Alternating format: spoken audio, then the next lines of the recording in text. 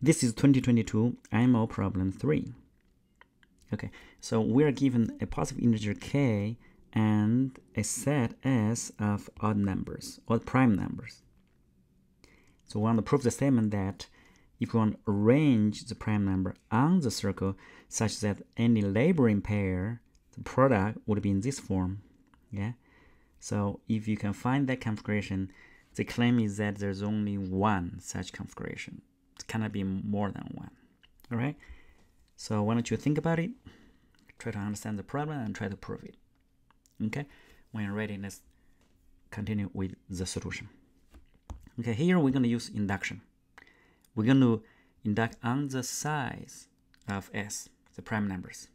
Okay, of course, the base condition is very straightforward. If we only have two primes, then because we don't care about symmetry, you know, there's only one such configuration for two primes, you put on a circle, right? So that's absolutely is true.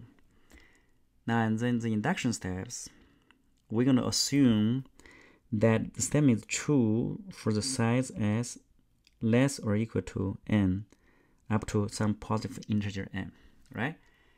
We need to show that is also true if the size of s is n plus 1. Yeah, if we're able to do, do that, and then we prove by induction.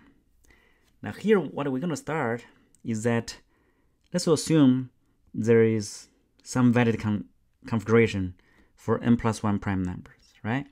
So we claim that we're done if for any such configuration, we can find another configuration with n primes in, you know, in this uh, set, right?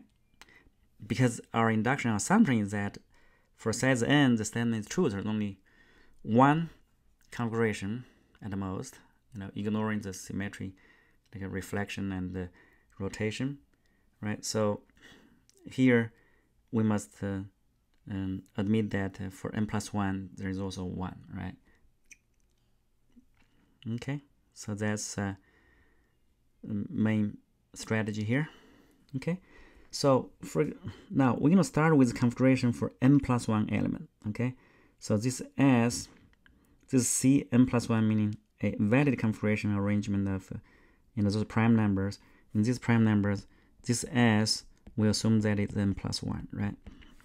So what we do is, in this configuration, let's find the greatest prime numbers because all the prime numbers are distinct, right? So there must be a greatest number. Let's call it R. Okay, so this R, this is the greatest number, yeah, among the set, yeah, greatest in S, right? And let PQ be two of its neighbors, all right? So, and we're gonna assume P is smaller, right? Or can you assume Q is smaller? Doesn't really matter, you know, this is for the convenience, okay? So PQR in this order. R is greatest among all, right? And this configuration is valid, which means what? Which means any pair, the product would be in that form, right? So in other words, in this case, P and R as a pair, you're gonna have some integer x1, and Q and R as a pair, the product, you're gonna have another number x2, right? Of course, because we assume P smaller than Q, smaller than R, so x1 must be smaller than x2, right? That's obvious. All right. So notice that we're gonna do what we're gonna do is we're gonna multiply four on both equations. Let's give you example here, right? So what we get is do some algebra. 4pr, right, equal 4x1 squared plus 4x1 plus 4k, right? I'm going to complete the square here. This is 2x1 plus 1 square plus 4k minus 1. So let's assume this is s square plus, you know, this u. All right.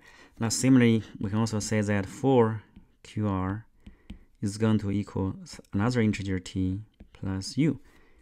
So what is s and t? s is 2x1 plus 1. So in other words, xt are odd numbers, right? So s smaller than t are odd numbers. Yeah. So here u equal 4k plus 1, st are odd numbers with these. Now we claim that both numbers must be less than 2r. R, remember, r is the largest of the prime numbers, right? Why? Because for pr, yeah, because uh, p is smaller, so this must be smaller than 4r squared, which is 2r squared, right? So s cannot be bigger than 2r, right? That's good to know. Okay. So now what we do is we're going to look at this equation 1 and equation 2 and uh, we're going to do the 2 minus 1. What do we get here is 4q minus pr equal t squared minus s squared equal t plus s times t minus s, right? Notice that r is a prime number, yeah? And t plus s, because two odd number add up to, this must be even number. And t minus s must be even number, right? Here, r is a prime number, so either r divides t plus s or r divides t minus s, right? Now, however, I claim that this is not possible. Why? Here's the argument. Okay, so if that is the case, t minus s is odd number uh, is an even number, so it must equal to 2r times another constant k. k is some integer greater or equal to 2.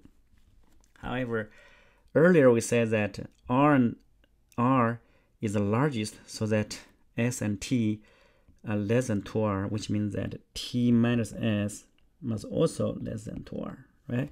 But here we said t minus s equal 2r plus k times k. Yeah, because the, this is a prime number, yeah? And with this equation here, so this is not possible because this will make the, the whole thing greater than, greater or equal to 4. Right, not possible. So let's cross out this possibility. So we're gonna have t plus s must equal r times the constant, but since t plus s is even number, so it must be 2r. r is a prime number here. This is a prime number here. Times another k. Uh, for k, some integer greater or equal to 1, right? This is greater or equal to 1. Yeah?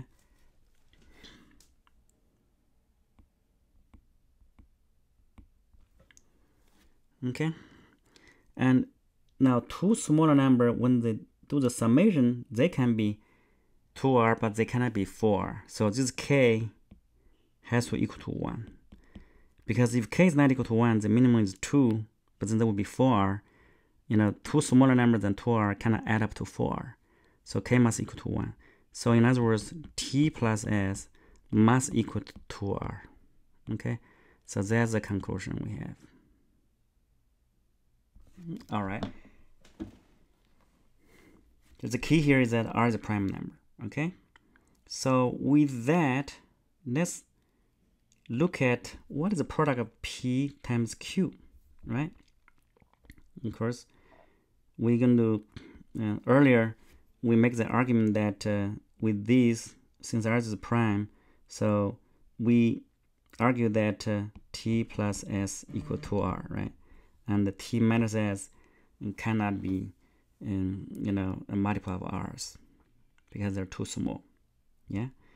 So now with that let's look at uh, what is p times q right? So here with this equation 1 2 let's multiply them together. So I have 16 pq r square equal and 1 and 2 right? Multiply together. So s squared plus u t squared plus u to some algebra here. That's going to equal s t squared right? Plus u times s squared plus t squared plus u squared right? Yeah. And then we want s plus t equal to r we want to take advantage of this fact here right? So what do we do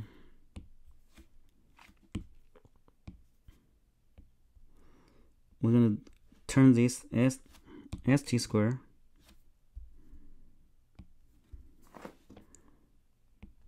st square plus u times s plus t square yeah, minus 2st, right?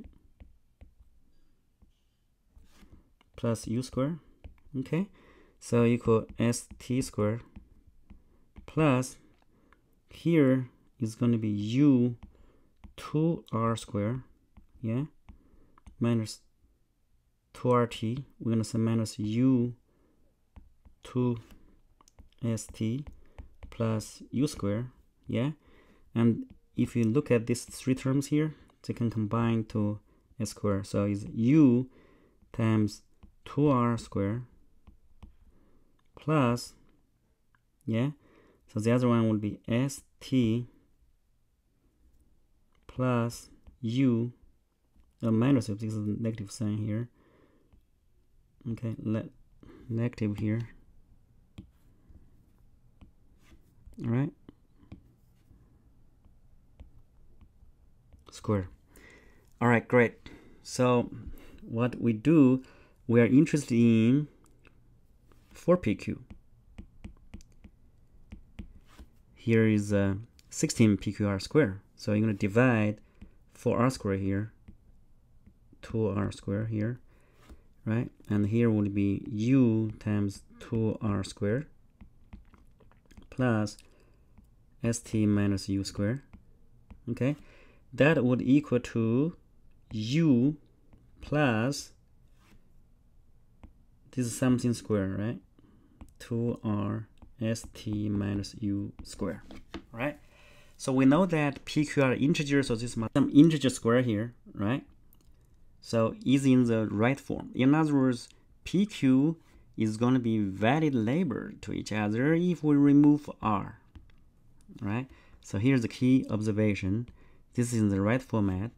Some integer square plus u and uh, so pq can be valid neighbor if we remove r here the original set is n plus 1 here is s minus r the set would be equal n by the induction assumption there's only one valid configuration here. Since for a valid c n plus 1 we get a valid cn so we conclude that when the size is n plus 1 there's only at most one such configuration satisfy the conditions all right that's it for the induction. We completed all right? So hopefully you follow the steps and enjoy the video. And thank you and please like share and subscribe. Thank you